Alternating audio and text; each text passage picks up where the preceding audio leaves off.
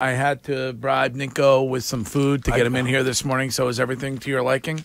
I just had two wings, Yeah. A piece of pizza, Uh-huh. a meatball sandwich, a small slider, meatball slider, Meatball slider. basically for brunch. Okay, well, Yeah, that's. good. I mean, that's Yep. the way. I I'm on a mean, diet. Will work for food. I'm is on the a way- diet. I'm trying to lose 10 works. pounds. Yep. Yep. And uh, I want to say thanks to my buddy Theo and the whole crew at Publico for uh, feeding Ninko this morning. And happy Very birthday. good. And happy birthday, Theo! Yes. So, uh, Wiggy, you we were talking about Mac Jones before the break. Uh, Happy and- almost birth- birthday, Courtney. Oh, thank you, Yes, Curtis. Courtney. Thank big you. day Sunday. Big day. Thank you. Um, and Wiggy, when we discuss Mac Jones, refuses to put any of the blame and where this uh, offense currently is on the offensive line.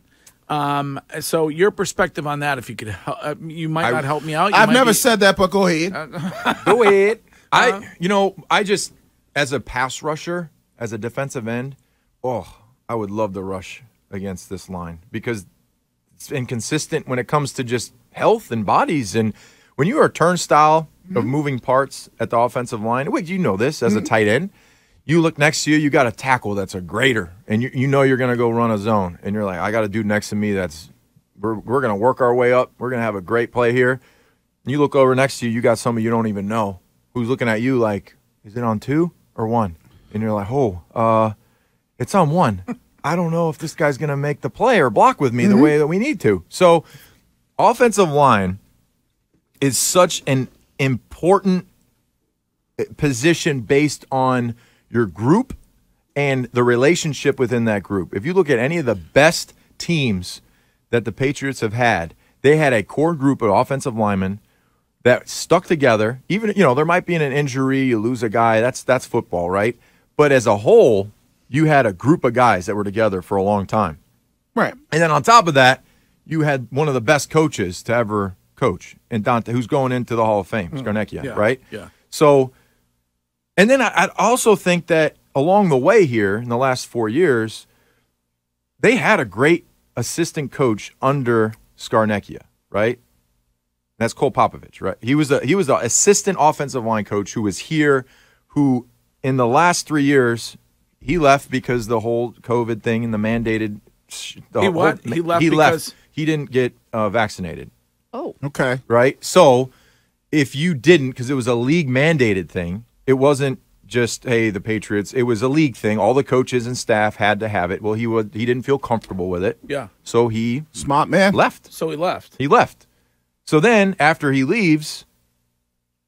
You bring in somebody else, and you've had some issues at the offensive line. You bring in another guy that used to play here, but maybe you had the one of the best coaches right there Who was Who was under- with- who was with Dante for a long time? Yes. Yeah. And then he had to leave because Yeah. So then he it's didn't feel not really about the talent you have because if you can get a good coach like Scarnecchia, who basically got Steve Neal off of a wrestling mat and turned him into a great player. Well, there's a it's a good balance between having a great coach and understanding how do I get the most out of each player. Well, that's but the- then also, and then I'll go back to Bill and uh-huh. how maybe it's harder for Bill to get to some of these younger players that I agree because now in 2023 the team aspect back when we were younger and you could sell team team team it's all about the team it's all about winning.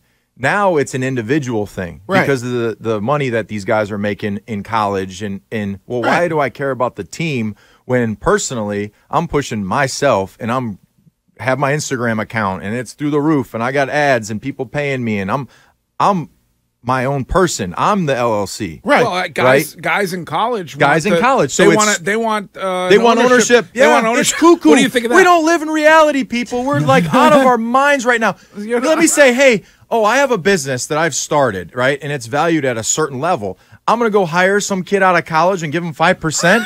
No, You don't think that's gonna happen for. Caleb Williams? Tom Brady didn't even get ownership of the the. it's a Raiders. smart move by the kid. You got to. No, it's not. You It's got a- to. it's- it's not. No, It's a La La Land move. do you not no, even it- like people making It's sure La La- that they're, Here's- th- here's they're- why like Mac, La La- Jo- Mac Jones did that after his rookie season. So back to Bill, I'm talking about Bill Mm-hmm. and going back to the initial conversation on, you know, Bill sticking around and Bill like Bill understands football and and the X's and O's and the game Right. planning. He's the smartest ever. Still a great coach. So if if Bill if anything happens where Bill goes somewhere else and it's a loaded roster, he's going to win a Super Bowl. Bingo. He's going to win a Super So Bowl. then, That- Nico, Nico, why don't they load this roster? I don't know. I don't I'm have gonna tell you- checkbook. I don't I'm- have. I I'm gonna tell you- Is it on Robert Kraft?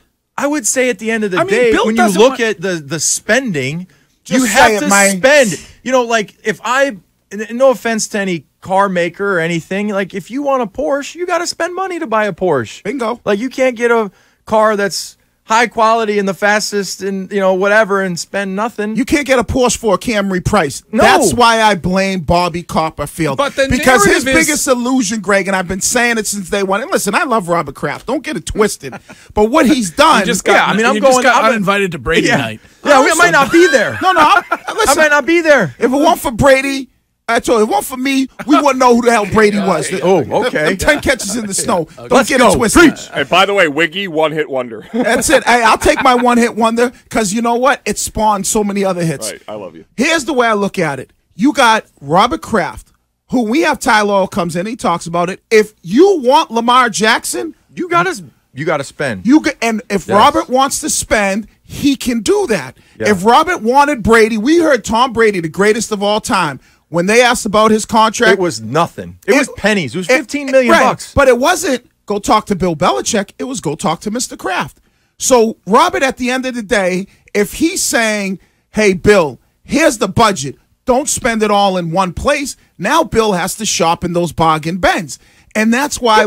and that's why I say Bill will never go anywhere because as long as he's here, uh, Bill Bill is always going to be Robert's toilet bowl. Any crap that falls down from above is going to land in the lap of Bill Belichick. Talk to Mr. Kraft. Come on. But Ninko, Bra- do you agree with Wiggy that Bill Belichick would rather spend more money and he's told he can't? I don't know if that's true, but it seems like when you look at the history, because every, isn't everything like checks and balances? You can look at it and what does it look like? If you look at what they've spent and you look at the moves that they've made, mm-hmm. the one thing that I would say is the draft.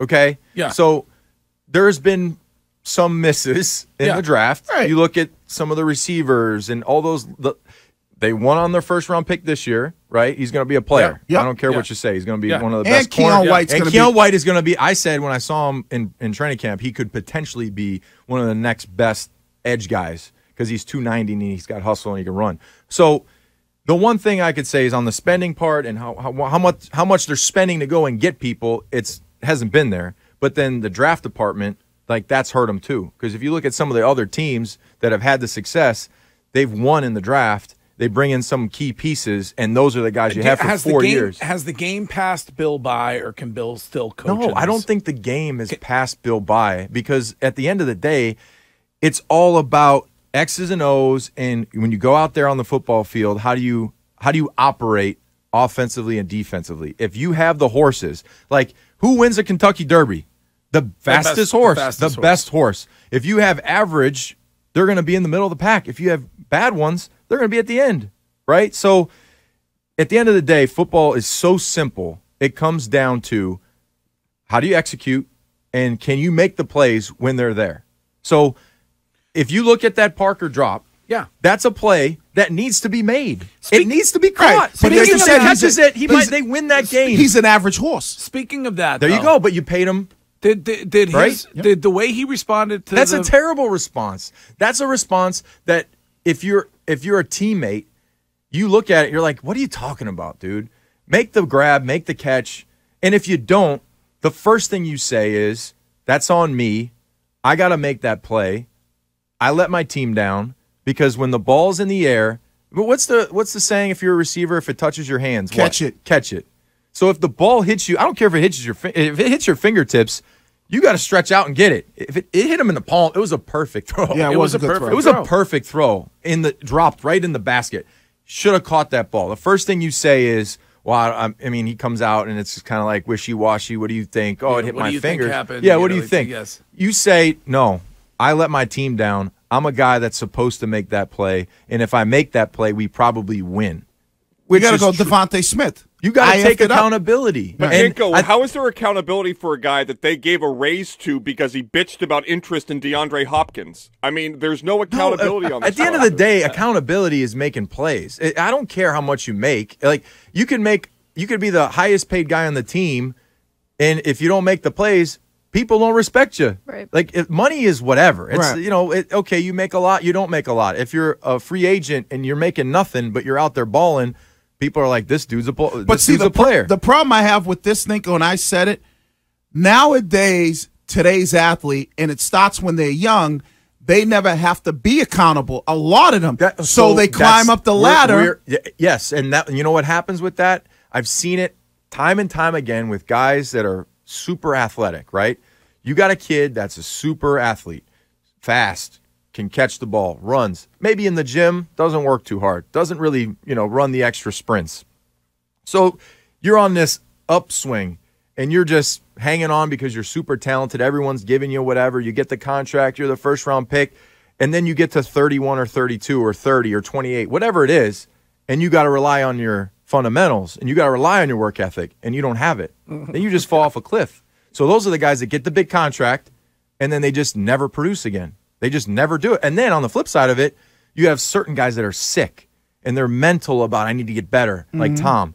And then you hit that I'm getting older part, but you rely on your work ethic, you rely on your fundamentals, you rely on the game, the knowledge of the game, and then you just keep climbing. And then you can fall back on all that, and then you might not be as fast or as athletic or throw as far, but you have all the fundamentals. So it happen you see it all the time. And if you are that's that's why when you see a kid that is gifted, you have to push him as if he's not. Right. You have to push him like do you want to be the best that you can be? And every single day improve and get better. Because if you don't and you just give the NIL deals and they make all this money, they're going to sit back and say, "Well, why do I got to listen to you? I'm I'm I'm set." You know? good. That- and that's a Bill's specialty. Yeah, yeah. You know? Isn't it? Yeah, it's pushing people past their comfort levels. Yeah. You All know? right, we got to take a break. Rob Ninkovich is here. It's a Patriots Friday. Gresh and Fauria coming up at 10, but we'll be right back.